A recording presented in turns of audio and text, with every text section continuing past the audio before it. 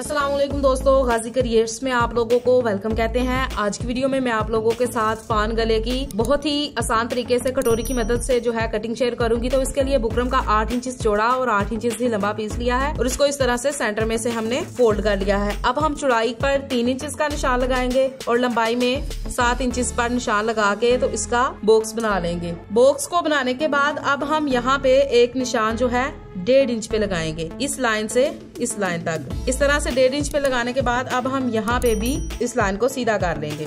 सीधा करने के बाद अब हम, ये देखें, इस कटोरी को लेंगे और यहाँ से जहाँ तक ये सेट होगी, ये देखें। इस तरह से। इस लाइन में इस तरह से हम इसको सेट करके रख लेंगे। अब हम यहाँ पे एक लाइन ड्रा कर लेंगे। इस तरह से। लाइन को ड्रा करने के बाद अब हम ये देखें, इस कटोरी को उठाकर इस तरह से हमने गोल शेप दिया ना, इस तरह से। इस तरह से गोल शेप को देने के बाद अब हम यहाँ पे, यहाँ से इसको सेट करेंगे और इस लाइन के साथ मिलाएँगे ये जो हमने गुलाई में शेप दी है। इस तरह से। मिलाने के बाद अब हम यहाँ पे भी इस तरह से लाइन को बना लेंगे ये देखें, ये जो लाइन है, अब हम यहाँ से इसकी इस तरह से कटिंग कर लेंगे। तो देखें, कटोरी की मदद से बहुत ही खूबसूरत जो है हमने ये मद्दा की शेप हमने इसको दे दी है और बाहर की तरफ़ भी इसी तरह से अब हम इसकी कटिंग कर लेंगे। तो देखें, कटोरी की मदद से हमने पान गले की कटिंग कर ली है। उम्मीद करती हूँ आज वीडियो आप लोगों को पसंद आई होगी। मिलते हैं नेक्स्ट वीडियो में। तब तक के लिए अल्लाह हाफिज।